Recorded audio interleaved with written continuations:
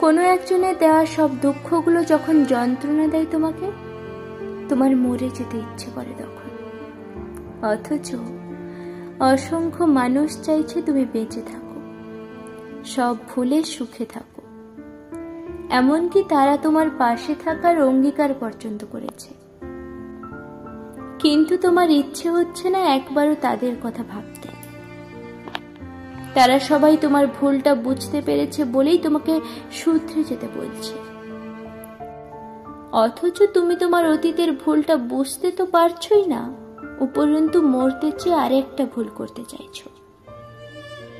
ওই মানুষটা তোমাকে আঘাত দিয়েছে, তোমার জীবন নিয়ে খেলেছে।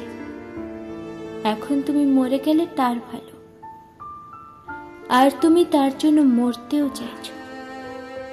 আর যে লোকগুলো তোমার ভালো চাইছে বলেই তোমাকে সরে আসতে বলছে তোমার বর্তমান পরিস্থিতি থেকে?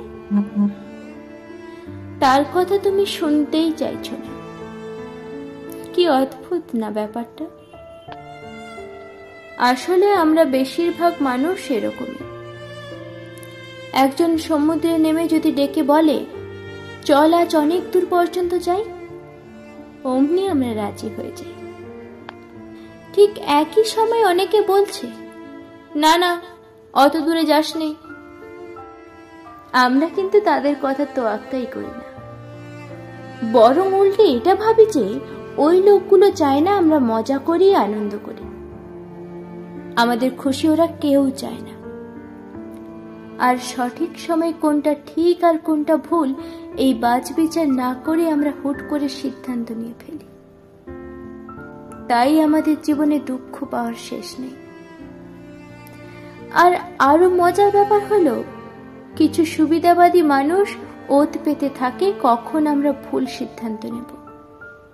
যাতে ওরা ওদের সময়টাকে সঠিকভাবে ব্যবহার করতে পারে, আমাদেরকে পরিস্থিতির শিকার বানিয়ে। আর আমরা ওই ফাঁদ থেকে বেরিয়ে আসার চেষ্টা তো করিই না, উল্টে আরও জড়িয়ে যাওয়ার জন্য ছটপট করতে থাকি। আর এই জন্য তোমাকে বলছি।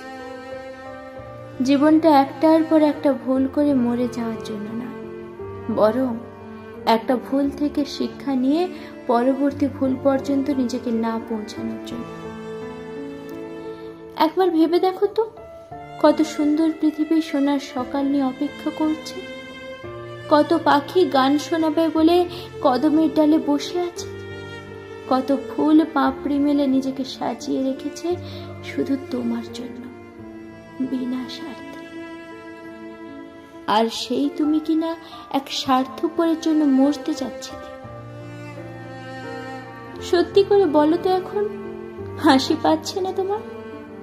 এইসব কথা ভেবে